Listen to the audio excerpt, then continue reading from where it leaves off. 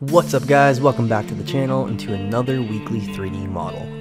This week things are getting a little bit dark and we're going back to the medieval times to do this old guillotine. Let's just get started.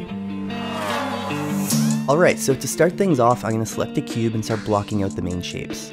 Now, lucky for me, this model seems like majority of it is going to be a bunch of rectangles, so it should be pretty straightforward, but I'm not going to rush this part, I just want to make sure I get all those proportions somewhat accurate and figure out how all those shapes fit together.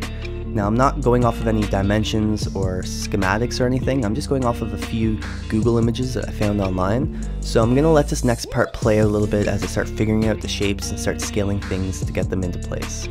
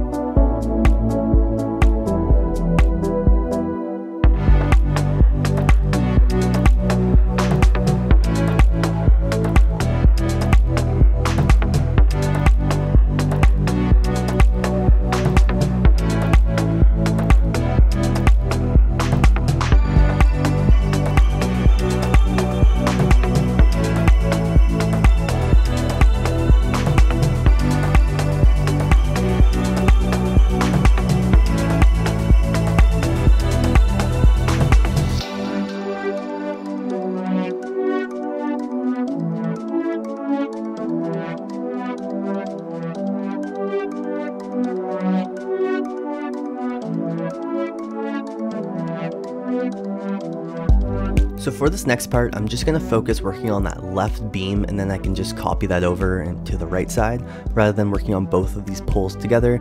Since I don't exactly know how these objects work, it's just going to make my life a little bit easier focusing on one side and then I can just mirror it to the other once I'm done. So I'm just going to start adding a few edge loops and deleting some of these faces just to figure out how I can get this piece of wood that basically slides over the person's head to fit inside of this beam. So here I'm just going to select the cube and start blocking out that piece of metal that basically is bolted onto this front piece of this beam. Now it's going to help that wood actually fit in there and like I said I don't actually know how this works so it's a little bit of problem solving. I find the models will look a lot more realistic if it looks like they work accurately rather than just shoving a piece of wood in between these beams and not really worrying about how they would actually fit there. So if you take a little bit of extra time to make sure these objects look like they work properly, you'll probably realize that your models will look a little bit more realistic in those final renders. So next up is creating a sphere just so I can create those metal bolts. So that's as simple as chopping this in half, scaling it to squishing it nice and small, and then just fitting it right onto my piece of metal.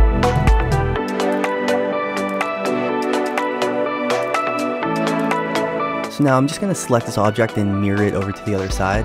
I'm probably going to delete this and actually come back to make some more edits, but it's just going to help me visualize the object to make sure that proportionally it looks accurate. And then I can select another cube and start building out that middle piece that actually fits into these metal slots that we build.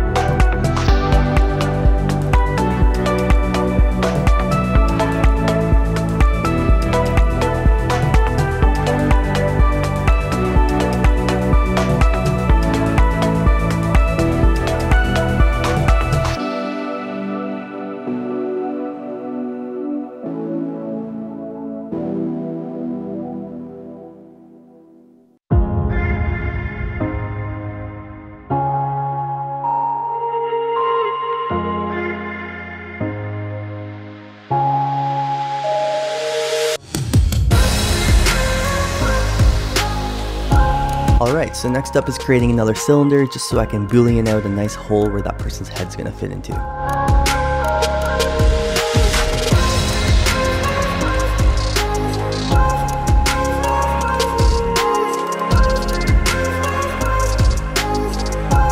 Now I'm going to go ahead with the target weld tool and start connecting all of these vertices. Now I'm not going to delete those two edges that the boolean automatically created for me.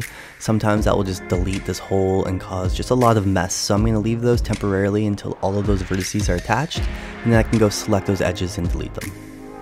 Alright, so things are slowly coming together. Now it's time to zoom out a little bit and start scaling some of these sizes to fit a little bit better with the model.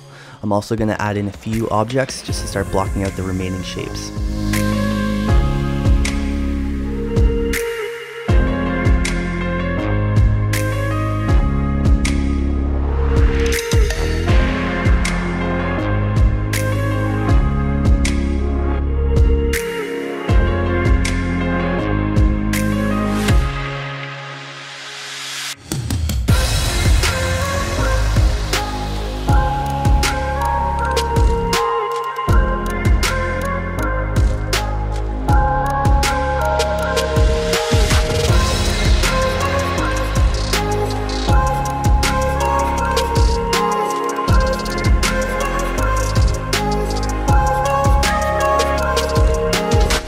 So now that things are looking a little bit more proportionally accurate, it's time to move on to the next boolean. So I'm going to go ahead and select another low poly cylinder and position it in that top piece of wood where I want that hole to go. I basically want a string that's attached to this blade that's going to come through that top piece of wood and wrap around to the side to a little pulley. Now before I boolean out a hole, I'm just going to select these top faces, delete them, so I can create a nice little indent where I want that piece of string to fit.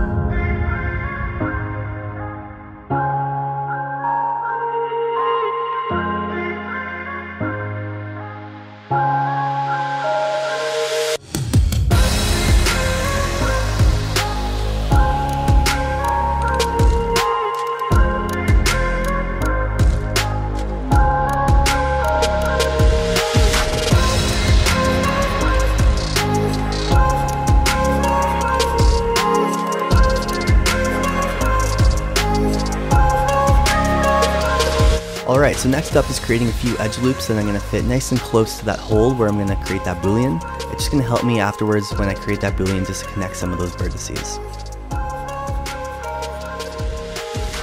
So like I mentioned earlier, it's probably a good idea to make sure this object looks like it works properly. So right now, there's no grooves on the side, so this blade would be just floating in between these two pieces of wood. So I'm assuming this beam would have some sort of indent or a groove so then this blade could kind of fit inside of it. So I'm going to spend the next little bit just adding a few edge loops and deleting some faces so I can extrude an area in on this beam so this blade has a place to sit.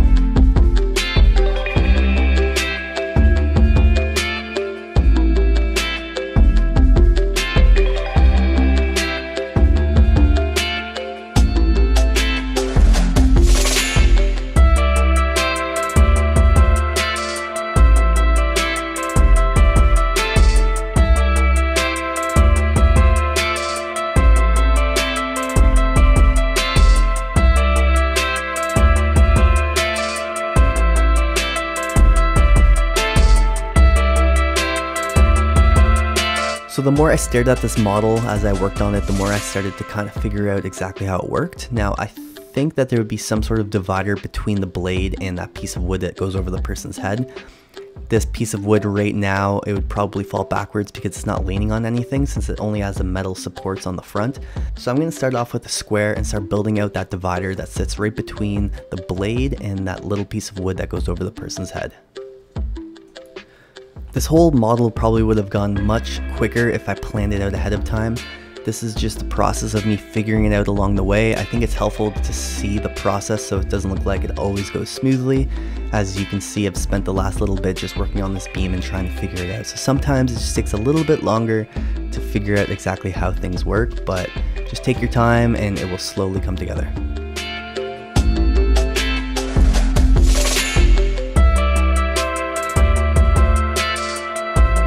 Alright, so since we made those little indents on the sides of the beams where the blade would fit into, I have to now create a little extrusion onto that blade itself. So I'm going to select that piece of wood that holds the blade, create a few edge loops so I can select those side faces and extrude them outwards. That way it'll just create a little extrusion that can fit into that groove we made.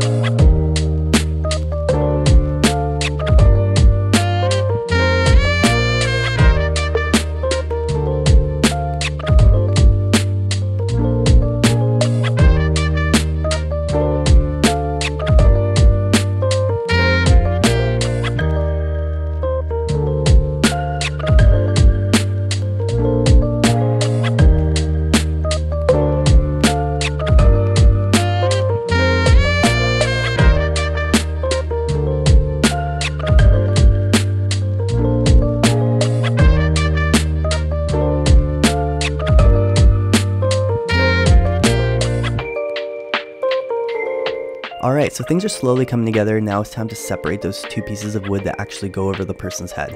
So I'm going to select this object, highlight those top faces, and extract them. That way it just separates those faces from the object, so now I have two pieces of geometry. Alright, so now that those are separated, I can come back to finish working on that part later. I just want to block out the remaining objects on my model. So next up is working on those metal beams that actually help support the guillotine.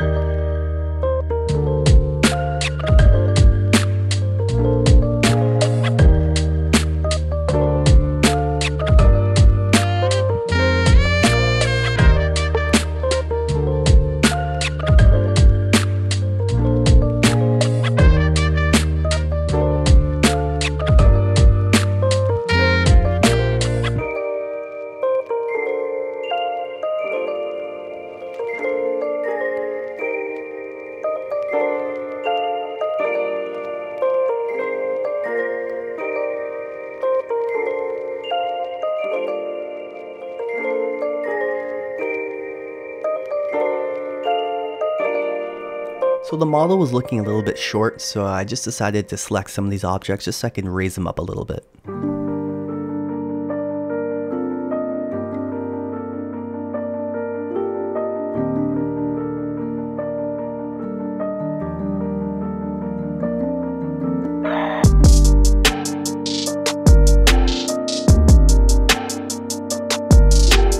And starting off with another cube, I can finish blocking out the remaining wood objects.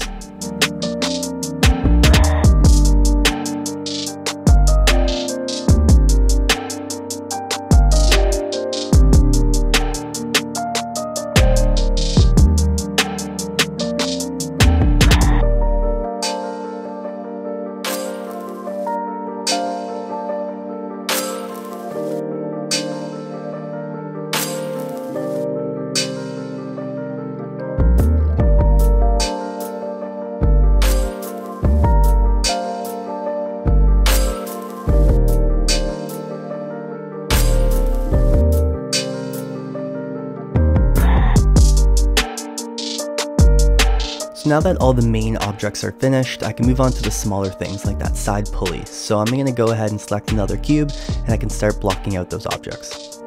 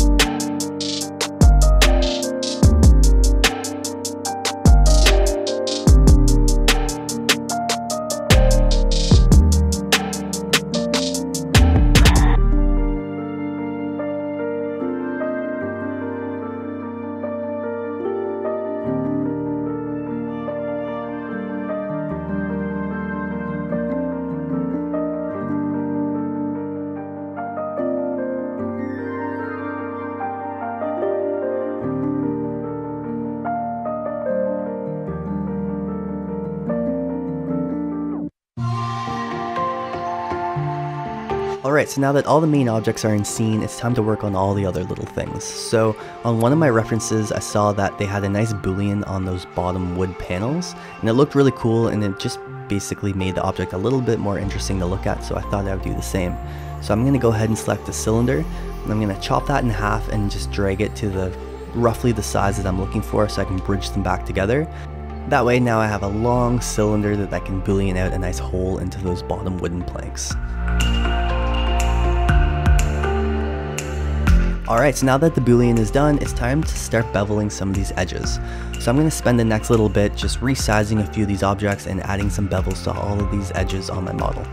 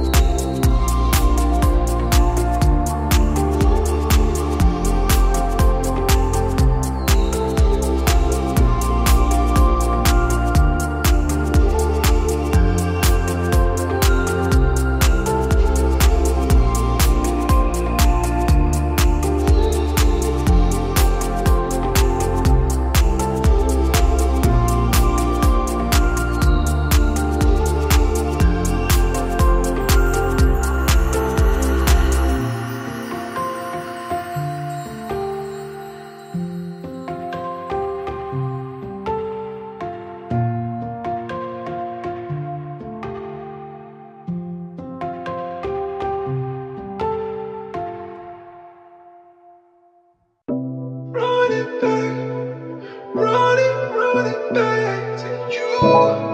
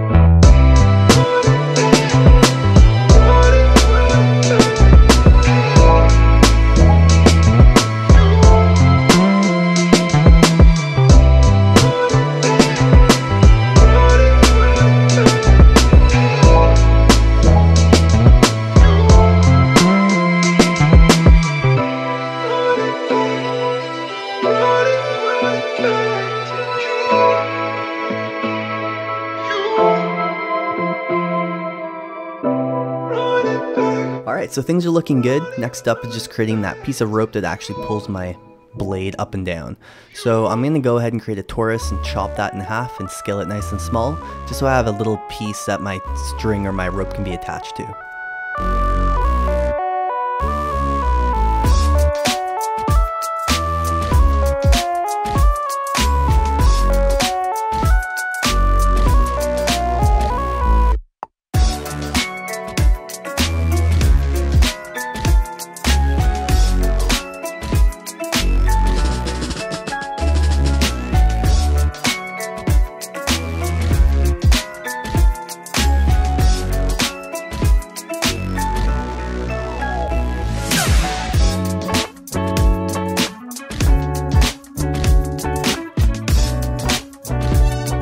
And then for the rope itself, I'm going to do that with a curve tool. So I'm going to go ahead and create an EP curve tool and just start basically putting it into that position of the rope that I want to create.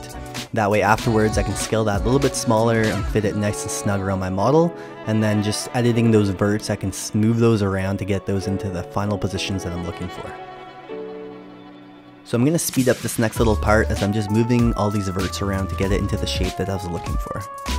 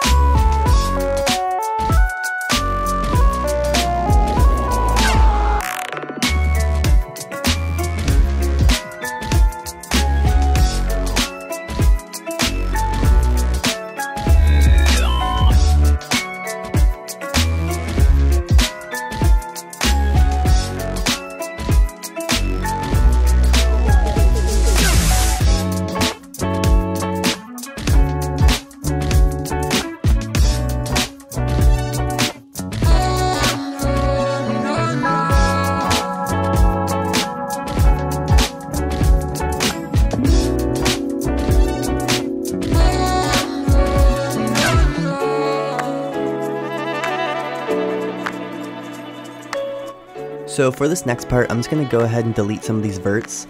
You can spend some time actually wrapping this around and you can make it look really good, but I didn't have a lot of time left in my day and just to make my life a little bit easier, I thought I would kind of cheat and add some toruses later so I can just kind of fit them nice and small and snug around my rope and it can kind of blend in and it would look like the rope's actually wrapping around. So that's why I removed some of those verts just to make my life a little bit easier.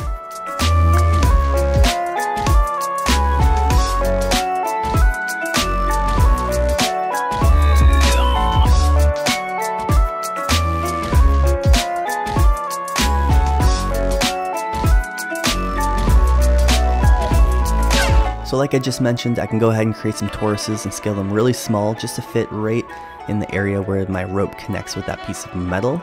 That way it just looks like the rope is actually wrapping around and this torus can act as if it was a piece of that rope. All it takes is just scaling it really small and putting it into the right position and it starts to look like it actually is part of the rope.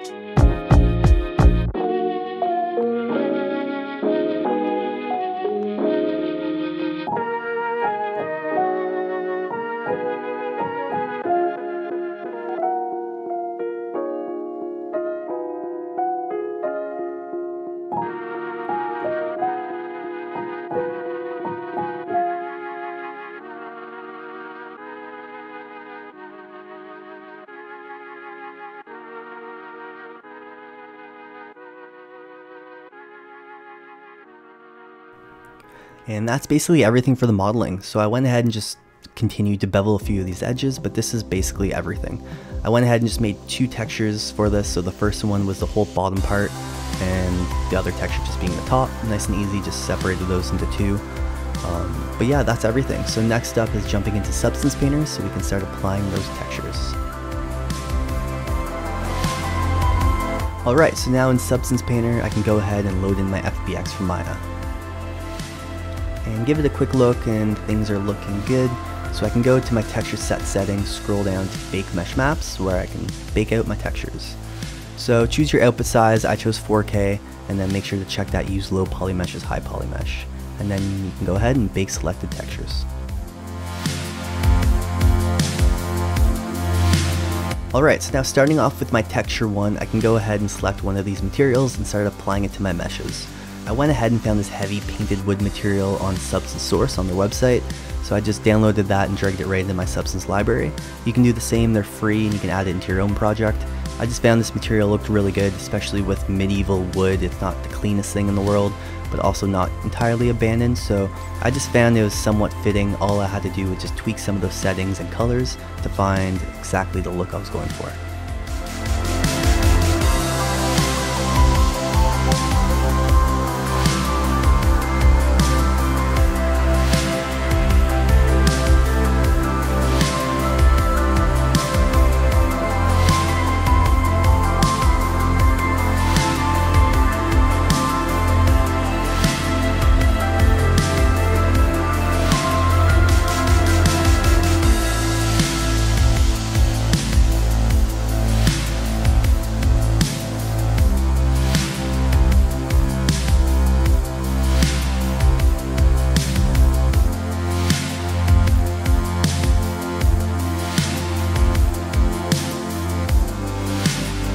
Once I was finally happy with the color, I could right click, set it to a black mask, and then apply it to my meshes.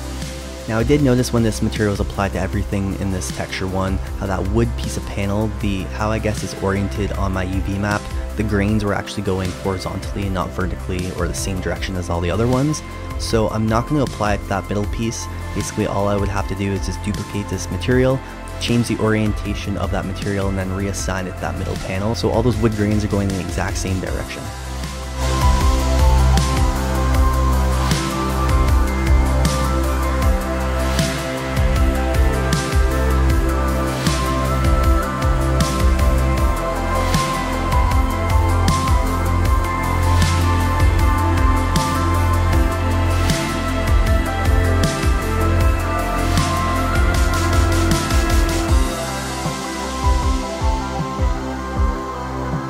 And then next up was the metal, so that steel ruined was pretty fitting for this model, so I'm just going to select that, right click, set it to a black mask, and then apply it to those metal meshes.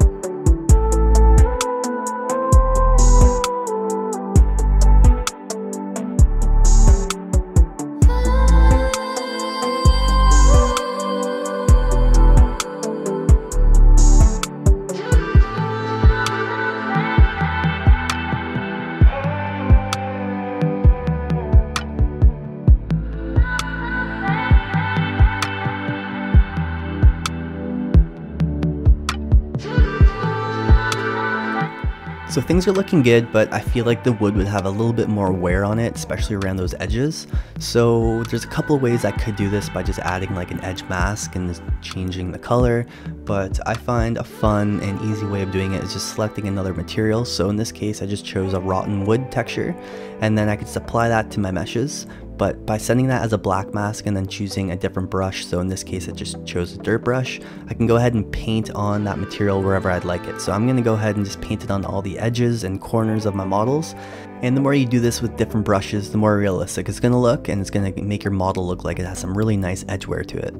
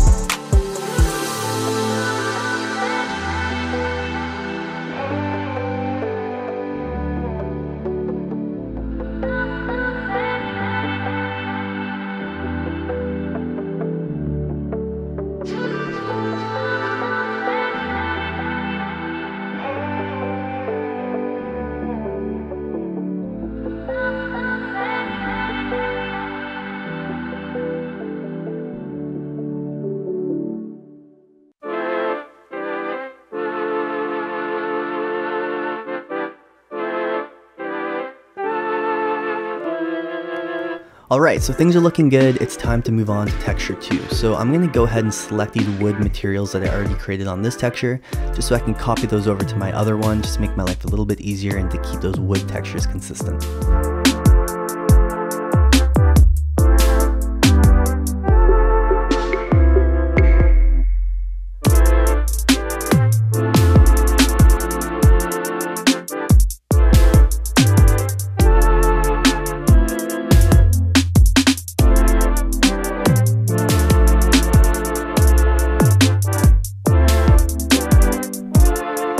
Most of the time, once you actually unhide all your objects and you're looking at everything in your scene, it, you sometimes want to make adjustments to those textures you were just working on. So I'm going to just jump back and make a few adjustments to that first texture I made.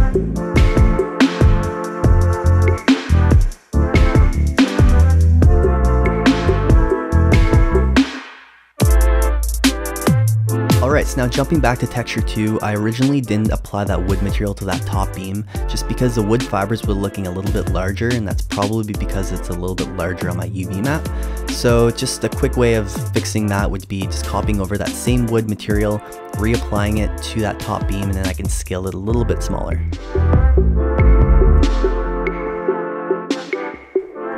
And also reapplying that steel ruin texture to the other metal objects.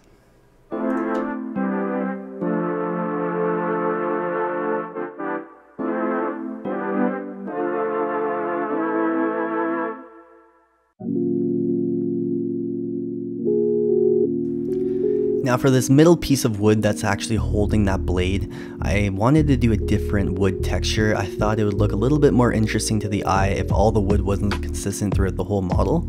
So I'm going to go ahead and just select another rotten wood material and then apply that to that middle block.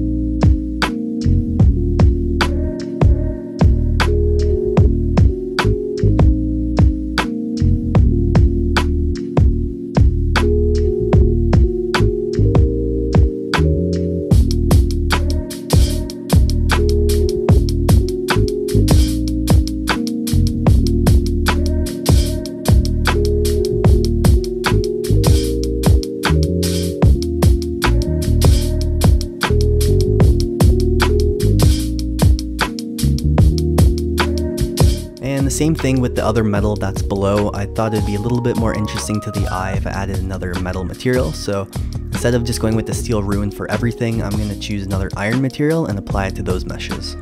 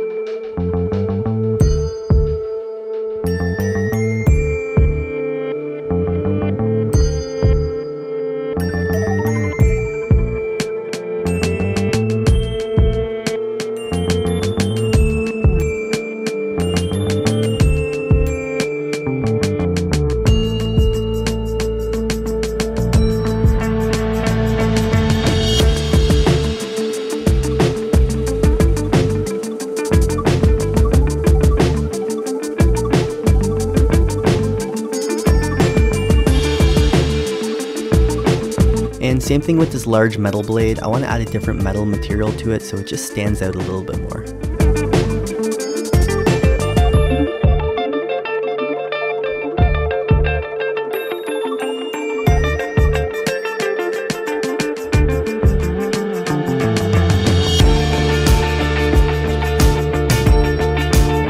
Alright, so now that majority of the materials are applied to the model, it's time to move on to the blood. So I'm going to start off with a plastic glossy material. I can go ahead and tweak some of those colors and settings afterwards, but it's just a good base to start off with because it's already shiny like blood. And I'm to go ahead and just switch my alpha, so I'm to start off with a dripping effect and start just pasting on that texture right onto my mesh. Now, I think it's important to think about where your source of blood is actually coming from. Because it's a guillotine and it's just chopping off heads, the source of blood would be at the bottom and probably be spraying upwards. So, so the reason I'm starting off with a dripping effect would just because I want those streaks to be vertically on my blade just because the head's kind of sitting below and as that blade comes down it would probably create some blood streaks that are going vertically. So I just think it's important to think about where your source of blood's coming from. I know it may be gross to think about, but it's just going to add a little bit more realism to your model when you're looking at that final render. So as I'm applying this blood to my mesh, I'm just trying to keep that in the back of my mind, thinking about exactly where those squirts and sprays would be coming from. So I'm going to let the next little bit play out as all I'm doing is just applying more blood to my model.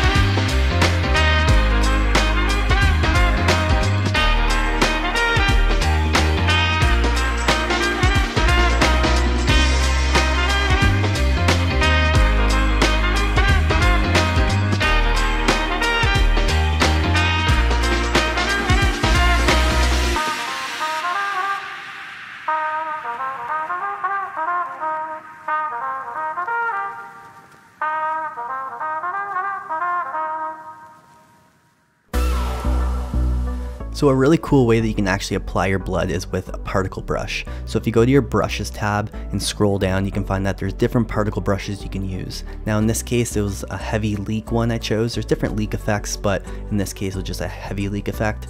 And I can go ahead and just click on my model and it will just act like the particle's actually falling. And I find this is a really good way to actually add different effects to your models and to your textures and it's something I don't do enough that I'm going to try to do more of going forward, but it's just something I recommend that you can use and I used it on this model and it tends to look pretty good.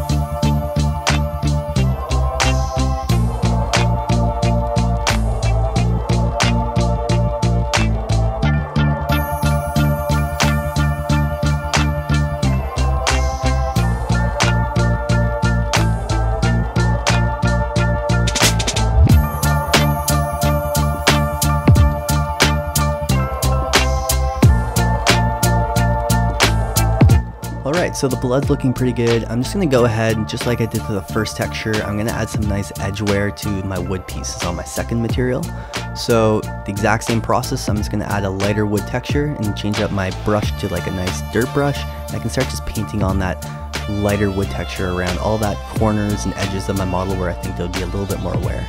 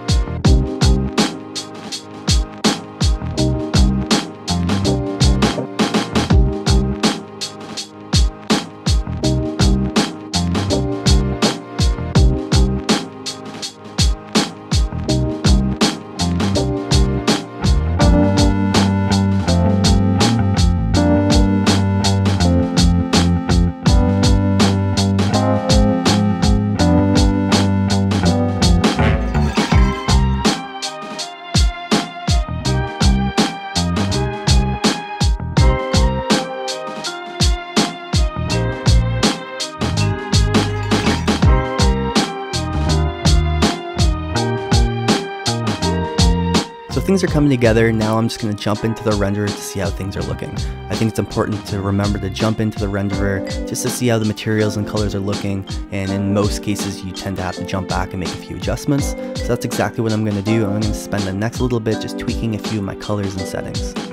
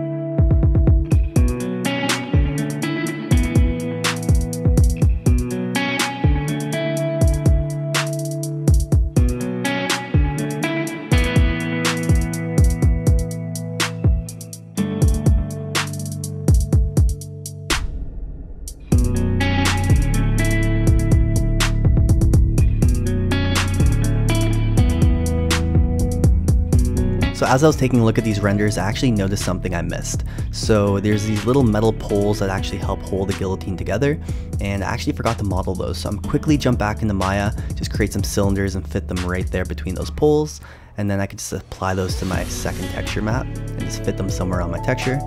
And then I could just re-export that model, go into my edit project configuration. I can just select that new model and it just loads my new mesh. So here is my new loaded FBX model from Maya. And all I have to do is just rebake that texture map just because I added new geometry to it. So I'm just gonna let this go, bake those new textures, and then I'm ready to go. So all I have to do is just apply a new material. I'm just gonna select the steel ruin that's already applied to my other meshes and apply it to those new cylinders and then just paint on a little bit of blood just to match the other objects that are around it in the scene.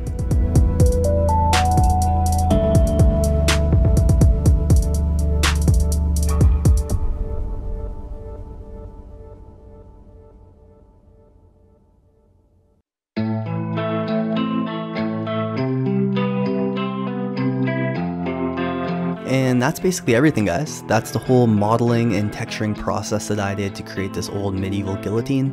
I hope you guys enjoyed the video. If you did enjoy it, don't forget to like and subscribe, and I'll catch you guys in the next one.